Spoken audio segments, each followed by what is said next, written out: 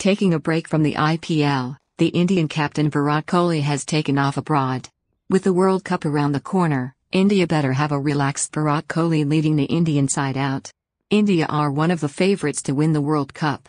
Virat took to his Twitter handle on May 17 and shared a picture of himself from a foreign city. Kohli looked debonair in a white t-shirt, teaming it with black pair of shades. Quizzing his fans and followers he threw a question asking them to guess the city he was in. He said, Hey guys can you guess the city?